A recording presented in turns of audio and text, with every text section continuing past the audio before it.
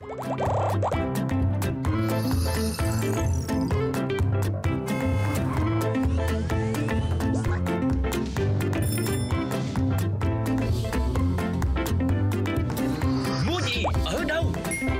Hải Triều và Tường Vi rất vui khi được gặp lại quý khán giả trong chương trình Mua gì đâu phát sóng trên kênh HTV7. Các thông tin nghệ thuật, giải trí hấp dẫn cùng nhiều điểm đến thú vị trong và ngoài nước sẽ là những thông tin chính xuất hiện trong chương trình ngày hôm nay. Mời quý vị cùng theo dõi.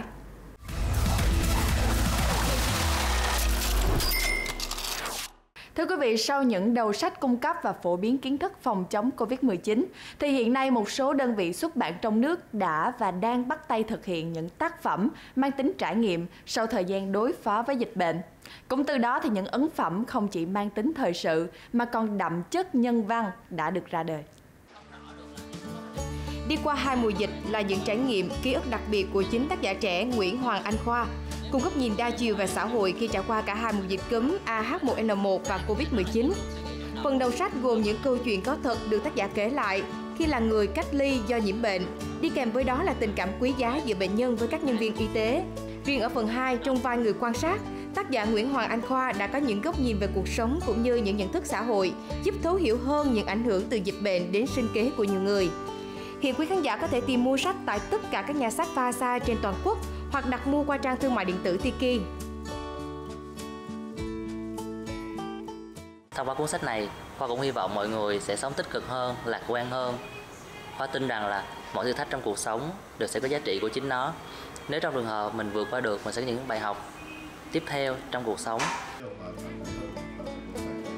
Bên cạnh đó, thương hiệu sách tác giả Việt cùng phối hợp cùng ebook xuất bản ebook Nhật ký mùa dịch ghi lại những câu chuyện được kể bởi người nhiễm virus SARS-CoV-2, các y bác sĩ, du học sinh, công dân Việt trở về nước hay các bậc phụ huynh, người Việt sống trong vùng dịch.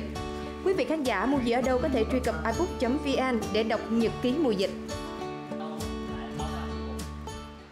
Những năm gần đây thì nhằm thu hút sự chú ý của khách tham quan trong và ngoài nước, thì nhiều bảo tàng tại thành phố Hồ Chí Minh đã mạnh dạn nắm bắt xu hướng thông minh hóa bảo tàng khi kết hợp với nhiều công nghệ hiện đại. Và điều đó mang đến cho khách tham quan những trải nghiệm thú vị như thế nào? Mời quý khán giả cùng tìm hiểu ngay sau đây. Tại các phòng trưng bày bảo vật quốc gia hoặc hiện vật quý hiếm, Bảo tàng lịch sử Thành phố Hồ Chí Minh đã ứng dụng thành công dự án giải pháp tương tác bảo tàng thông minh Komorebi với công nghệ quét mã QR cùng màn hình chạm bổ trợ. Khi có nhu cầu tìm hiểu thông tin về cổ vật, khách tham quan chỉ cần kết nối Wi-Fi với điện thoại thông minh, quét mã QR và truy cập vào đường dẫn hoặc tương tác trực tiếp với màn hình chạm. Tôi thấy mô hình bảo tàng thông minh này rất là ích ạ. Nhờ nó mà chúng ta có thể tìm hiểu thông tin của các hiện vật trong bảo tàng mà không cần hướng dẫn viên du lịch. Tôi nghĩ là chúng ta nên áp dụng mô hình thông tin này rộng ra các bảo tàng khác ạ để người dân có thể tra cứu và tìm hiểu các hiện vật dễ dàng hơn ạ. Cái đề án bảo tàng tương tác thông minh vừa hướng tới xây dựng một cái bảo tàng à, công ứng dụng những cái công nghệ hiện đại như là khu trưng bày trải nghiệm 3D, à, khu trưng bày thực tế ảo và sử dụng các cái công nghệ hiện đại như quét mã QR. Mô hình bảo tàng thông minh cho phép người dùng có những trải nghiệm tương tác sống động, hấp dẫn dưới đa dạng hình thức, từ hình ảnh cho đến video hay audio. Nhờ đó, các thông tin về hiện vật như nguồn gốc xuất xứ, chất liệu, niên đại sẽ được thể hiện với nhiều ngôn ngữ, dễ dàng tiềm cận với nhiều đối tượng khách tham quan, đặc biệt là giới trẻ.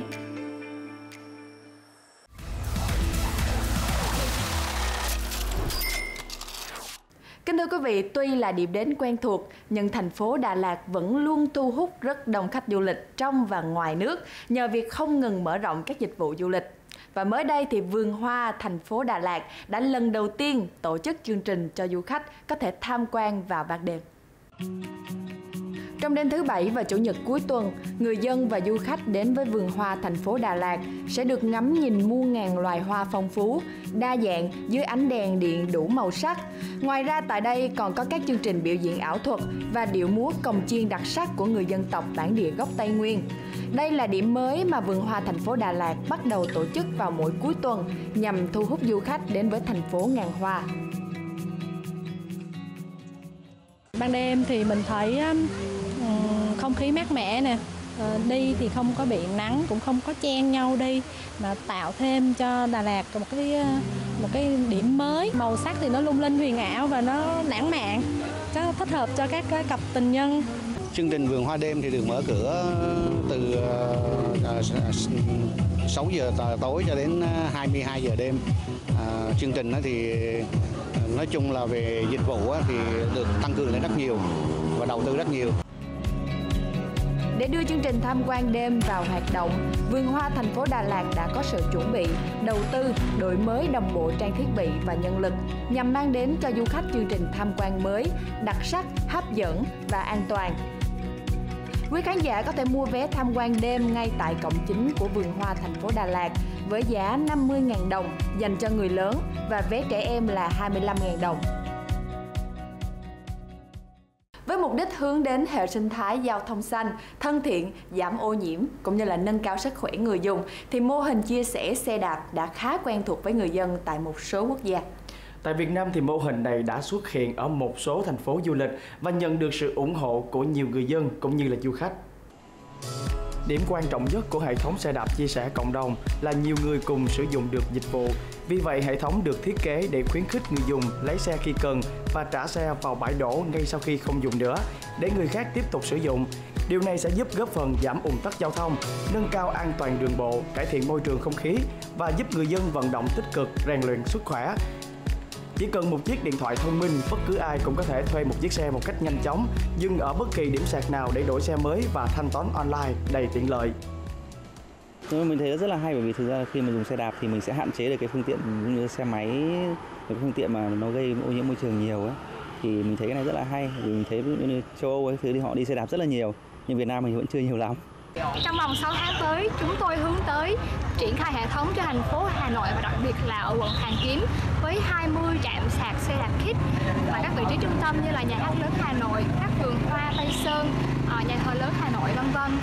ở nước ta, mô hình xe đạp chia sẻ đã được triển khai tại thành phố Hội An, thuộc tỉnh Quảng Nam và vừa qua Ủy ban Nhân dân Hà Nội cũng đã thống nhất chủ trương thí điểm đầu tư hệ thống xe đạp điện chia sẻ tại quận Hoàn Kiếm với nhiều trạm thuê xe tập trung tại nhiều địa điểm. Hy vọng trong thời gian tới thì mô hình này sẽ mang đến những trải nghiệm thú vị cho người dân và khách tham quan tại đây.